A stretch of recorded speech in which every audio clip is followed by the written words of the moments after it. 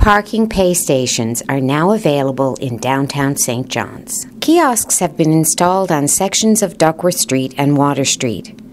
Pay by phone will remain in use on Harbor Drive, but it can also be used for the new paid parking zones on Water Street and Duckworth Street. In order to decrease vandalism, cash will not be accepted at the pay stations. When you're parking your vehicle, look for signs that indicate the parking zone you're in. Use the Pay by Phone app or find the closest pay station. Start by choosing your payment method and confirm the zone you are parked in.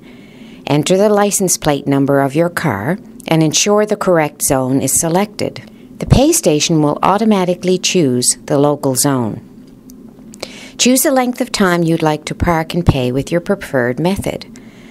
To make a payment, you can choose to insert your debit or credit card into the card reader, or you can use the tap option to pay with your debit card, credit card, or your smartphone.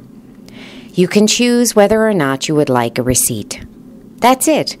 Your plate is registered and nothing else is required. You don't need to return to your car. For more information, visit stjohns.ca slash paid parking.